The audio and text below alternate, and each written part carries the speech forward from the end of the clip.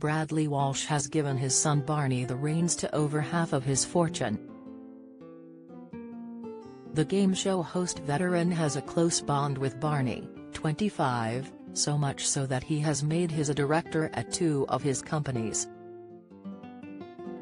Bradley, 62, owns Barnstormer Holdings Limited and Winjet Productions Limited and they are not short of cash.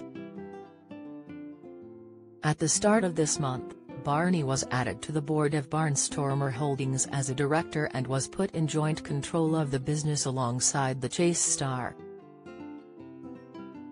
It is believed that the company has assets worth around £1. 86 million. Barney was added a director to Bradley's other business, Winjet Productions, in March 2020. Winjet Productions is the company which is behind the former Wheel of Fortune hosts TV earnings, such as The Chase and its spin-offs.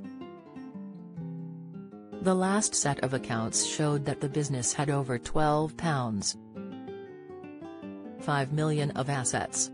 Bradley and Barney have their own series on ITV, Bradley Walsh and Son, Breaking Dad, which has the synopsis of their coming-of-age road trip around the world.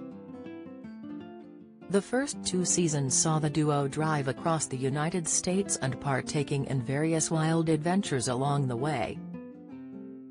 Those activities include a skydive, feeding alligators, ghost hunting and attempting to rodeo to hysterical results. The most recent two seasons saw the pair embark on a 3,000-mile trip around Europe, still with their crazy antics. Last month, Bradley joked he had enough of popular ITV quiz show The Chase during an episode, with Mark Labbett quick to quip that he has already lined up his replacement. The comedic moment came when, after a wrong answer was given by a contestant, Walsh said he had had enough of the hit game show. The Chaser, known as The Beast, immediately urged the host to retract his statement and identified who his replacement would be. Labbett told Walsh, don't say that. Philip Schofield will be here in a heartbeat. Walsh quipped back, has never been in heartbeat. That was Nick Berry. The chase has been running since 2009, with both Labbett and Walsh being involved from the beginning.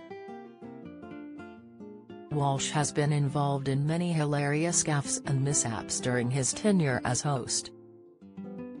In April, he was forced to apologize after breaking part of the show's set after becoming overexcited during a high-stakes moment.